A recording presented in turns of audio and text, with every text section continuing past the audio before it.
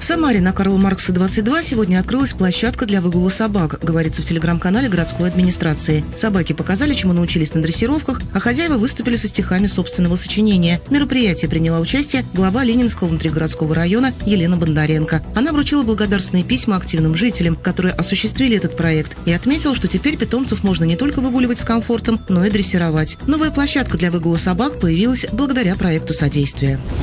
Президент России Владимир Путин подписал закон, согласно которому приемный ребенок получает преимущество при зачислении в школу, где уже учатся члены его семьи, сообщает в телеграм-канале Департамента опеки, попечительства и социальной поддержки. Право приоритетного зачисления получают в том числе усыновленные или удочеренные дети и находящиеся под опекой в приемной семье. Преимущество будет действовать в государственных или муниципальных школах. Как воспользоваться услугой кредитные каникулы и кому они положены, рассказывает телеграм-канале Кировского района. Для начала нужно обратиться к своему кредитору и предоставить документы, подтверждающие снижение дохода. Дополнительно необходимо уточнить, какие документы нужны кредитору и как лучше направить обращение – в офис, через личный кабинет на сайте или через мобильное приложение. В обращении нужно указать, что вы хотите получить отсрочку платежей или снижение их размера.